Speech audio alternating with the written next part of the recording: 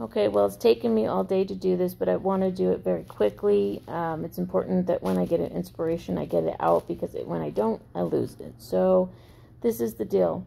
Um, the pain is definitely getting better from the surgery, but it's other complications that are the trouble and that are bringing other kinds of pain and making this very difficult. Um, the weight of the splint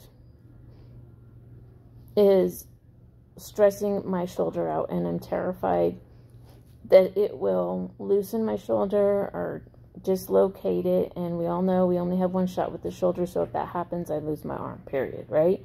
But then if it doesn't heal, I lose my arm too. So it's a double edged sword. Um, also, the weight of it is bashing against my ribs. So um, they feel very bruised or possibly broken, so I'll probably need to get an x-ray, make sure it's not breaking, the pressure's not crushing my ribs. Or it could just be costochondritis, which is when the rheumatoid um, gets in the ribs. So could be inflamed, bruised, broken, but something's definitely very painful. That's where most of my pain's coming from at this point. The stress of the shoulder and the ribs. Um, the actual cut is tolerable. Um, it's just all this added pain. And then my other elbow, because I'm using one arm, that elbow's flared up. So these are the complications that happen that are unpredictable. Um, and then just being in it and being suffering from severe claustrophobia is getting to me. I have panic attacks all the time. I feel like I can't breathe. And then the the weight of it terrifies me. So all this happening at once and i'm just i'm just a mess inside my head. And you know all these negative thoughts i see life the way it is and i'm thinking what is the quality of life? What is the purpose of getting better to get sick again or something else happening? It's it's weighing on me heavy and it's hard when you have to walk on that faith and you can't see the greatness and all the good stuff. You just you can't because you get stuck in a rut because all of this stuff is in your face and you have medical science to show you how true your negative thoughts are right?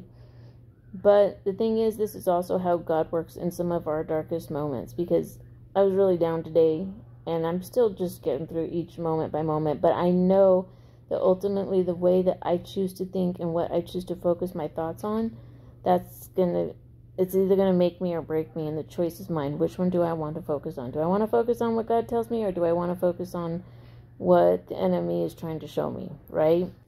God reminds me, hey, get your eyes focused back on me. And the thing is, the choice is mine, but that means the power is mine.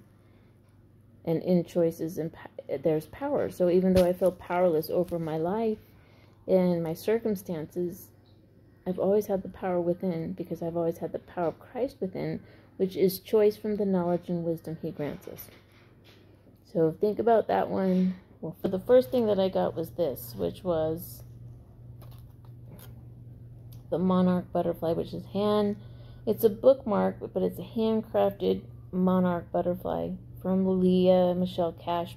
Leah, thank you so much. Um, and she knows what this means to me. And man, did I need this today to be reminded of the monarch and my personal story of the monarch butterfly. And then, sorry, then there is this Jennifer. Jennifer, I'm not to tell you how to pronounce your name to me because I'll probably butcher it, so I'm not going to.